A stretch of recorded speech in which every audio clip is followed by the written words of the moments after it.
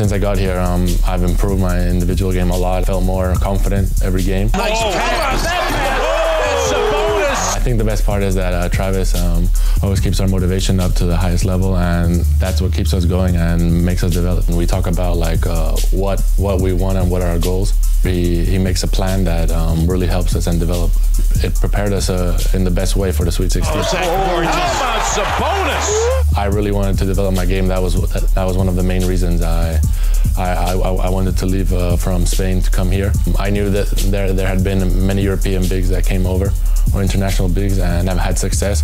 And I feel like I'm getting stronger. I believe more in myself. I think it's, it's been great best decision ever.